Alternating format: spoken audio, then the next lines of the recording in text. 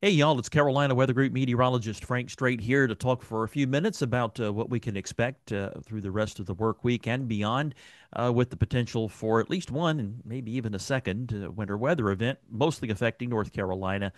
No need for bread and milk runs in South Carolina, at least not yet.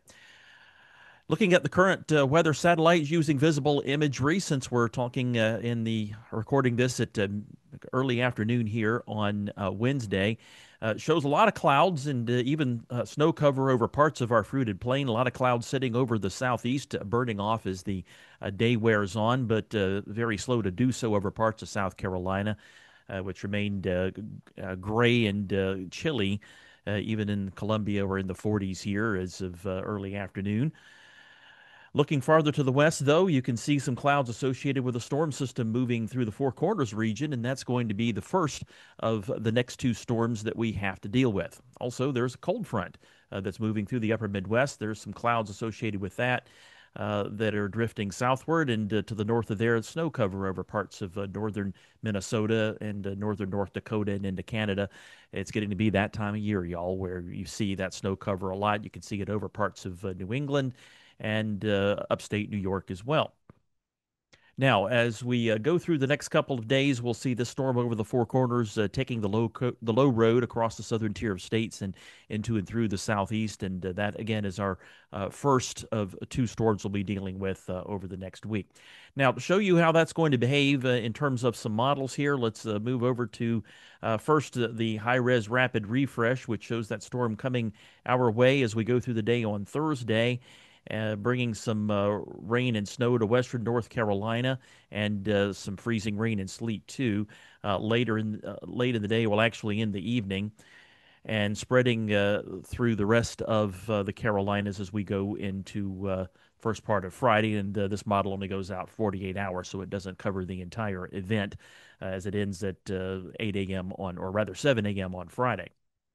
But as you go through the morning commute there on Friday, it looks like there's uh, some potential issues uh, along and north of I 40 in North Carolina with uh, snow and potentially some uh, ice buildup occurring uh, in that area. Uh, switching over to the three kilometer NAM model, which I should have put in place as I wanted it to before I started this. But anyway, uh, as we uh, go through the next couple of days, it shows a similar solution uh, with uh, rain and uh, mixed precipitation uh, arriving later Thursday night and into early Friday across the Carolinas. And again, most of that's up in North Carolina. We're mostly free of any winter weather to deal with in South Carolina this time. Uh, the this model's a little bit warmer, and so it has most of the snow occurring right along the North Carolina Virginia line, and having uh, mostly sleet and freezing rain uh, off to the south uh, along the I-40 corridor. Uh, now, looking at the totals from the models here, I'll show total snowfall. It's not all that impressive, just one to two inches there on the three kilometer NAM uh, outside of the mountains and higher ground in the mountains, seeing a little bit more. Uh, the uh, high res rapid refresh, uh, also not terribly impressive with uh, one to two inches, but uh, for early December, that's not bad. in terms of sleet and freezing rain, though, that can get a little further south, not into South Carolina for the most part. those of you in the far northwest and the usual cold spots along the North Carolina line and northern Pickens and Oconee County, northern Greenville County, uh, especially those higher ground. There may be some uh, sleet and freezing rain for a time, but probably not for very long. Don't be surprised if you see a few ice pellets mixed in at the onset. Uh, for most places northwest of I 85, but this is a more North Carolina event in this case. So uh, it's looking like there could be some impacts to deal with uh, late Thursday night into uh, early Friday. As we go through the day on Friday, we'll see the Storm uh, to slide off to the south and east. Uh, the, the, trailing cold front pushes uh, into South Carolina and uh, eastern North Carolina, where it'll all be uh, a rain event there.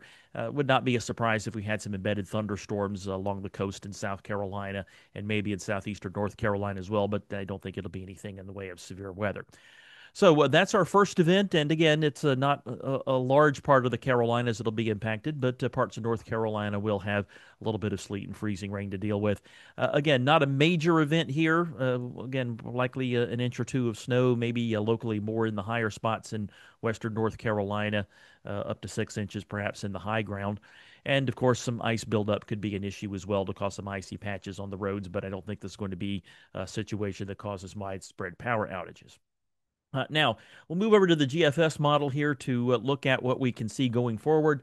Uh, from there, it looks like that front's going to become stationary over South Carolina and uh, bring uh, parts of the state uh, a prolonged rain event, which we won't complain about because we've been in a drought in South Carolina and uh, remain there. So uh, a, a, lengthy rain event is uh, probably a good thing for us. So let's bring those raindrops, even if it does have to come on the weekend. going into Saturday and Sunday, things stay wet. Little wave of low pressure rides along it. Looks like Saturday night into Sunday to push the rain a little bit further north, maybe into North Carolina for a time. Uh, now, uh, then as we get to Sunday night to Monday, we have a more significant storm system uh, that rides along our front and uh, causes more in the way of precipitation. Uh, again, uh, there's a late later Sunday night and into Monday. As we go into Monday, the GFS and uh, the Canadian model is in agreement with it that colder air uh, dumps into the uh, Carolinas at the last minute here and causes to turn over to snow. again, mostly in North Carolina, but the northern fringe of South Carolina is impacted as well if the GFS and the Canadian operational models are in to be believed but I'm not sure they're to be believed at this point. Uh, other models are showing something a little different. The uh, European model shows this uh, storm system Sunday night to Monday to be weaker and the cold air to be much slower. And that's usually the way things work out in these situations that uh, instead of getting a winter weather event, the cold air just arrives too late for uh, any uh, significant amount of snow or, or ice to occur when you have the cold air chasing uh, the moisture. So uh, d- don't be surprised if this doesn't work out, uh, and then we end up just seeing rain instead, and perhaps not much of it because the uh, European model, along with the Canadian model, the uh, experimental uh, update to the Canadian model. Uh, that should be a better version of the Canadian models, kind of with the euro and not really showing much in the way of uh, winter precipitation. So uh, let's take a look at that. Let's see what we have here from the European model and so let's take a look at what the European model is showing here.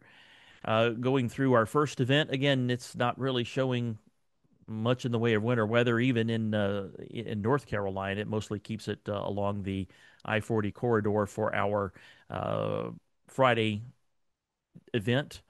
And then with our second event, the next storm coming in is a little weaker. This is uh, this is the uh, weekend event showing uh, some rain spreading back into North Carolina for a time, and then uh, the next uh, storm coming through on Monday. It's uh, noticeably weaker and uh, keeping most of the precipitation even offshore, and the cold air would arrive too late for there to be any significant wetter weather with it. So uh, that's more likely what's going to happen with early next week. So for now, uh, don't buy into any hype that's showing there could be a winter storm.